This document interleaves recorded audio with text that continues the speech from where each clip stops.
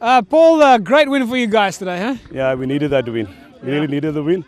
And I think UWC was a little bit arrogant, not to take the points at times, but we needed the win more than them at this point in time of the season. Do you think that sometimes makes the difference between those at the top of the pile who want to go up and those at the bottom who poten- potentially could go down? As the danger factor throws in that extra motivation. Of course, yes. Um, Elsies character today showed again that we, we belong in this league. And, and, and as I've said earlier, UWC didn't want to take the win. They didn't want to go for the points and they kept us in the game and, and so we enjoyed the win. Of course we're going to enjoy the win. Well, it looks like you guys have got some fantastic. I mean, we speak, keep speaking about Elsies as the team that's like the role model of, of the clubs in, Thank in you. Western Province and Allison, you know, and the rest of the folks that do such a great job Thank here. yes, this kind of this kind of team spirit did it help? Of course, yes. Um, well, the whole week was a nice build-up. We had full team on the, on the practice field. Um, and the, and we, we are under immense pressure from the administrative side, of, of course, of the, of the club. But we perform, and I'm happy for the guys. I'm happy for the guys, yes. And um, well done to them. Well, well done to you guys, and so far so good. You Yes. just got to stick it out now for the rest of the season and stay in the league. Yes, thank you very much. We need that. Thank you very much. Eh? Thank you.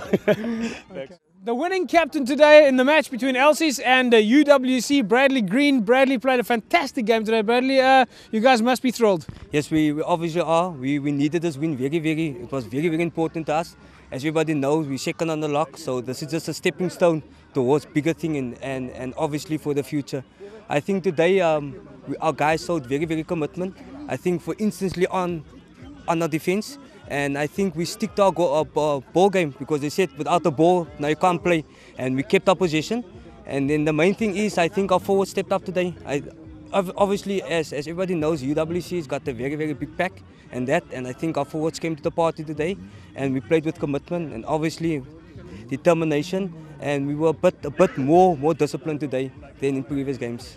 We uh, we were talking about you in the week on the show, uh, moving from eighth man to fullback, and uh, your coach said that you added a little bit of zip to the back line there after coming back, what, 20 points to three last week against Scottsdene. And, and uh, again, do you feel like you uh, were mastering the back line today?